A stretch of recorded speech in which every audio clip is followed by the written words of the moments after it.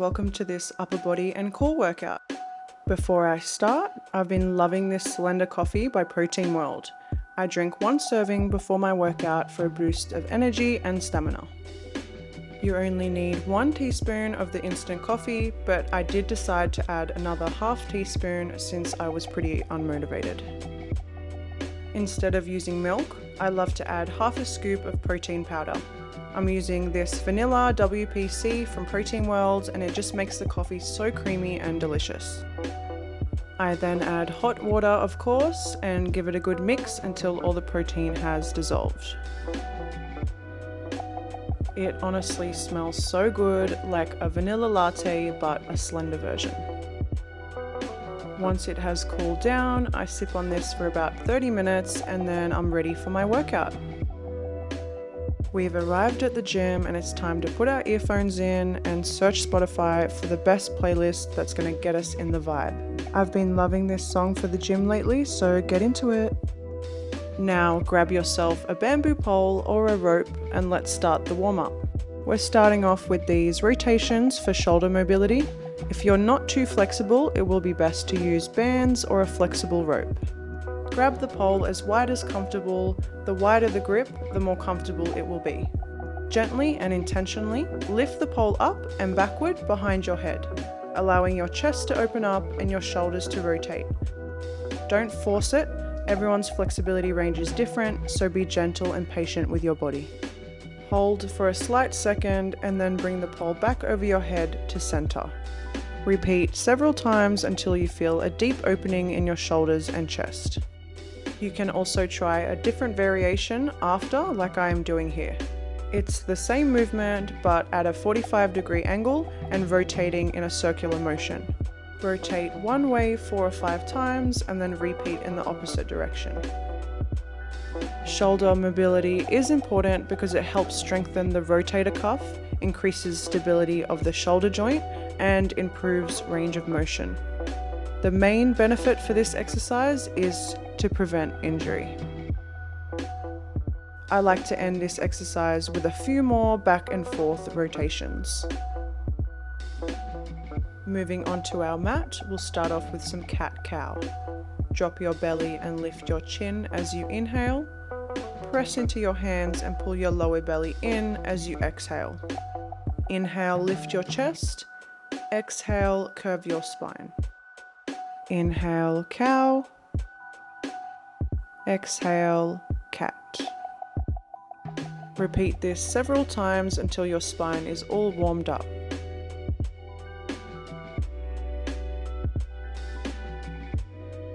Moving on to some chest openers. With your knees slightly wider than hip distance, bring your right hand to your right ear with your elbow bent. Breathe in, open your chest to the right, Breathe out, bring your right elbow to your left wrist. Breathe in, open. Breathe out, close. Repeat this for 10 to 12 reps.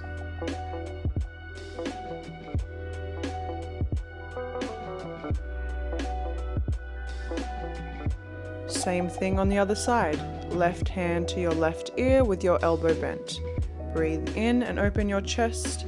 Breathe out, bring your left elbow to your right wrist. Breathe in, open. Breathe out, close. Again, repeat on the left side for 10 to 12 reps.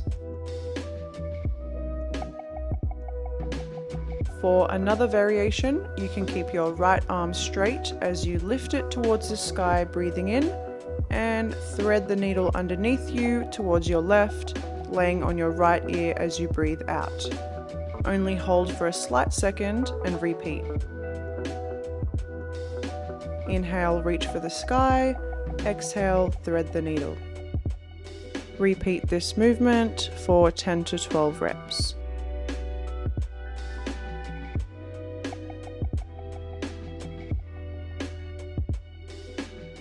Same thing on the other side. Inhale, lift your left arm towards the sky. Exhale, thread the needle and lay down on your left ear. Breathe in, stretch. Breathe out, fold. Repeat on your left side for 10 to 12 reps.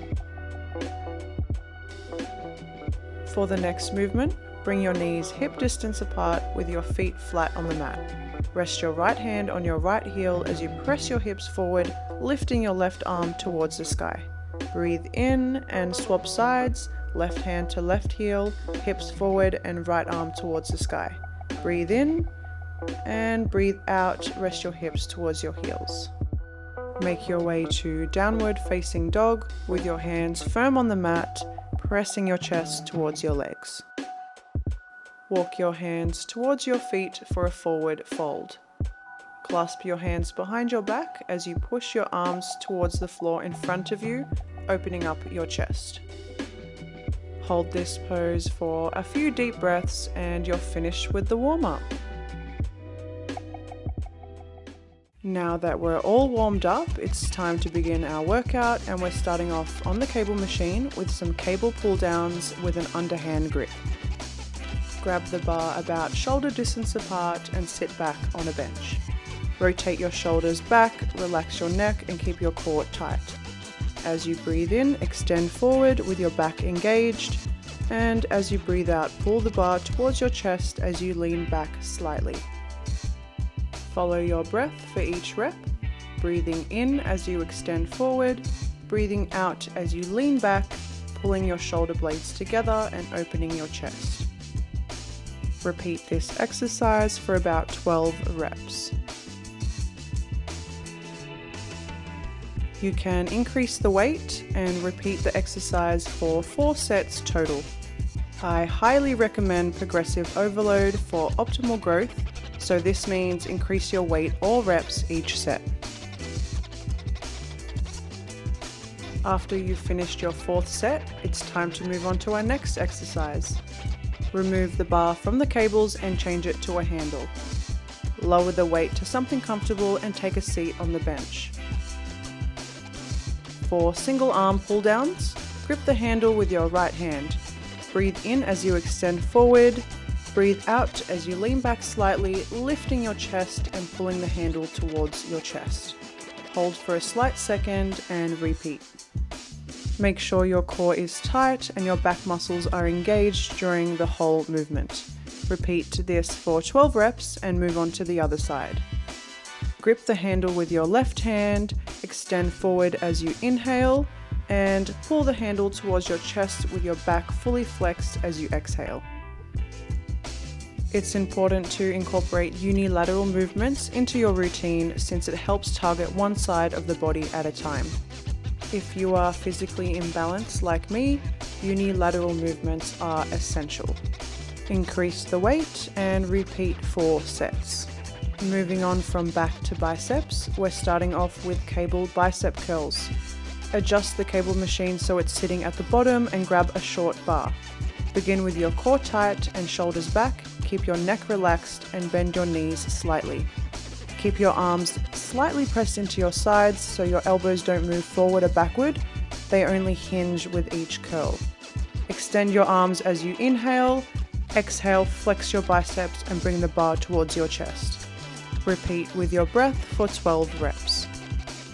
This is a superset, so go find yourself a barbell. We'll be using this to burn out our biceps same form as before, shoulders back, core tight, and elbows in. Breathe in as you extend, breathe out as you flex. Repeat until failure. Our last upper body exercise is assisted pull ups. Adjust the weight of the machine so you can pull yourself up but with as much resistance as possible. Grip the handles in a neutral grip, which means thumbs in front. Keep your core tight, chest open, and chin tucked slightly. As you engage your back, shoulders, and arms, pull yourself up. Hold for a short second and slowly lower back down. Inhale as you pull up, exhale as you release. Repeat for 12 reps and 4 sets. Moving on to our core circuit, lay down on your mat on your back. Release all the air from your lungs and pull your lower belly in, engaging your core. Shuffle your hands under your glutes for support and begin lifting your legs using your core. Your breath should be steady and shallow, allowing your core to be engaged during the whole movement. Repeat this movement for 20 reps.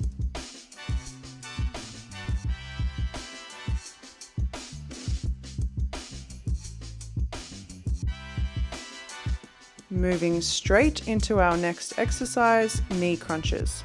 Sit evenly on your hips with your legs bent in front of you. Place your hands behind your back with your chest lifted. First, engage your core. Then, as you inhale, simultaneously extend your legs as you lean your torso backwards. As you exhale, pull your knees and chest towards each other using your core. Inhale, extend, exhale, crunch. Again, repeat for 20 reps. The third exercise is standard crunches. Lay back down with your legs in the air, knees bent and ankles crossed. Again, first engage your core. Then, with your hands behind or beside your head, curve your spine and lift up towards your legs using your core. Inhale, lay back, exhale, crunch. Repeat for 20 reps. The last exercise is bicycle crunches. With your hands in the same position, extend your left leg as you simultaneously bring your left elbow to your right knee. Repeat quickly on the other side and keep going with your core engaged the whole time. Continue until failure. The last movement isn't a part of the circuit we just completed, but I did incorporate it to burn out our abs. For hanging leg lifts, find somewhere with handlebars where you can hang without touching the floor. Release all the air from your lungs and pull your lower belly in to engage your core. Lift your knees towards your chest and slowly lower back down. Repeat for about 15 reps. It may take some time to find your rhythm so you're not swinging back and forth, just be patient. You can also superset with single leg bent knee lifts. Now that our workout is over, it's time to begin the cool down. Start off in extended child's pose with your hips towards your heels, arms extended, and forehead on the mat. Thank yourself in this moment for showing up, completing a workout intentionally, and taking care of your body. Bring yourself up to all fours with your toes still touching. Inhale, reach your right arm towards the sky, Exhale, thread the needle and lay down on your right ear. This time, hold for several breaths. You can use your left hand as a little kickstand and press into your palm for a deeper stretch. Make sure the weight between your hips is evenly distributed. For an even deeper stretch, bend your elbow and place the back of your hand against your lower back, opening up your chest. Release, and let's repeat that on the other side. Come back to neutral. Inhale, reach your left arm to the sky. Exhale, thread the needle to lay down on your left ear. Hold for several breaths.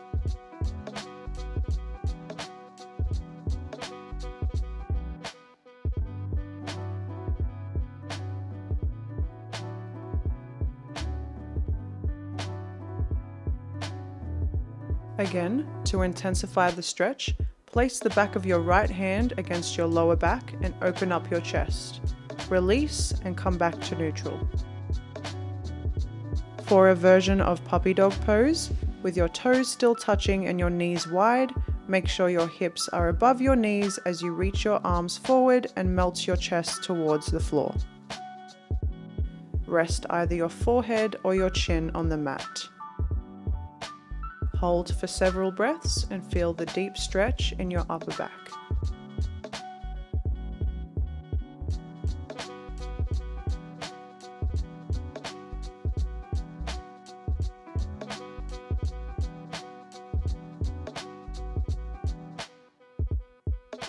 When you're ready, press into your palms and slowly release, melting your hips towards your heels in child's pose. Rest your arms by your sides, palms facing up, and release all tension from your body. Hold for three deep breaths.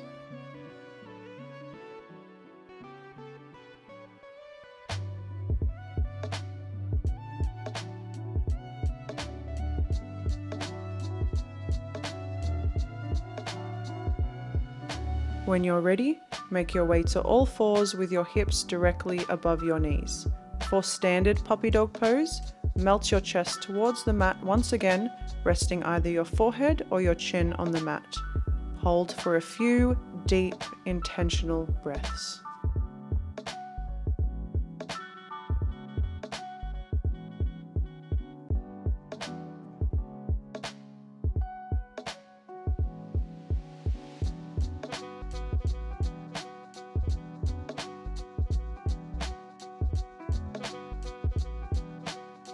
One last deep breath and slowly release back to child's pose.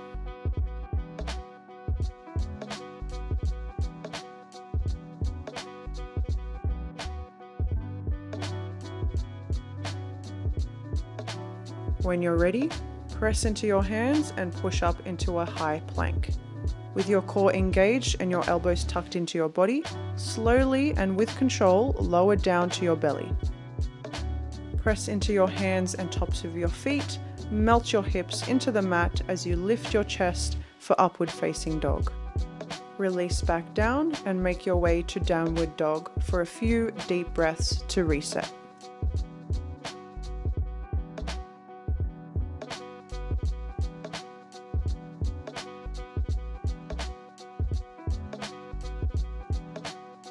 Come down to sit with your right leg extended and your left knee bent, resting your left foot towards your right inner thigh.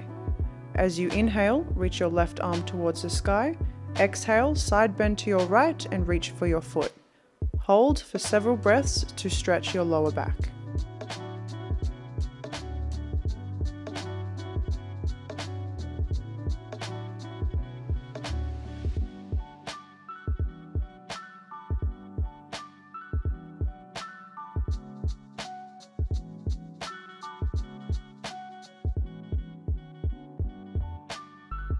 Release and repeat on the other side. Left leg is extended, right knee is bent. Inhale to reach your right arm high. Exhale to side bend to the left, reaching for your foot. Hold for several breaths.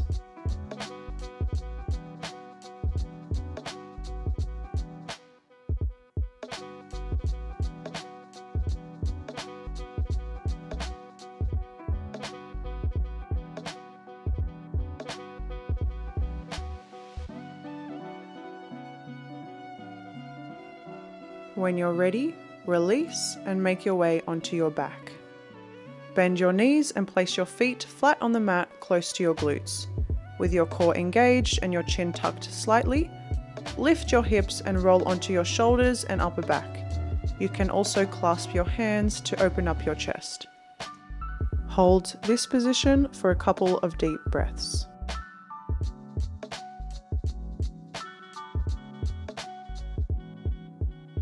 When you're ready, slowly lower back down and pull your knees into your chest. Open up your arms into cactus pose and lower your knees to the left. You can place your left hand on your knees for a deeper stretch. Take several deep breaths in this supine spinal twist.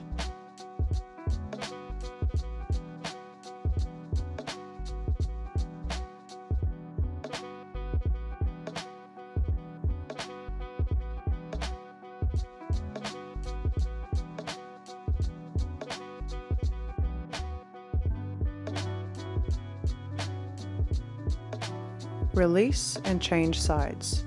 Knees lower to the right, chin turns to the left. Take three deep breaths.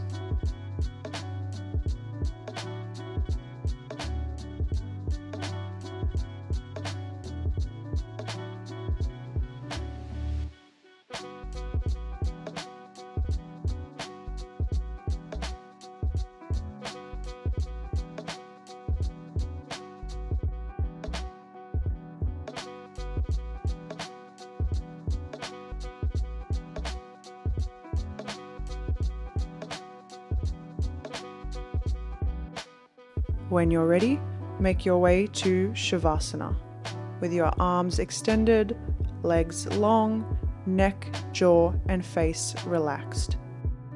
Let yourself melt into the mat and completely relax your entire body.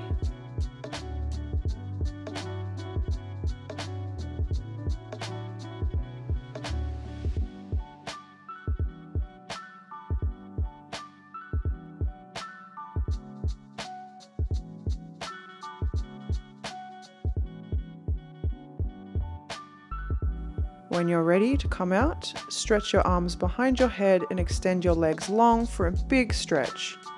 Roll over onto one side and make your way to seated. And you're all done. Now for the perfect post-workout meal, we'll be making a protein smoothie. Grab some pineapple and some frozen banana, add it to the blender. Add some water, milk or coconut water, flax seeds. I cannot live without flax seeds, they prevent cancer. And of course, protein. Four scoops of my Protein World vanilla protein. Add that in, and we're ready to blend. Don't forget to use my discount code PWJuliaG for 40% off your whole Protein World order. The smoothie is ready and we can pour it into our glass. Drinking protein after your workout is essential to repair and build muscle. You can get protein from food, of course, but supplements just like this help you achieve your fitness goals faster. And that's all for this upper body and core workout, focusing on back, biceps, and strength. I hope you followed along with me, and if you did, let me know how you went in the comments below. Bye, guys!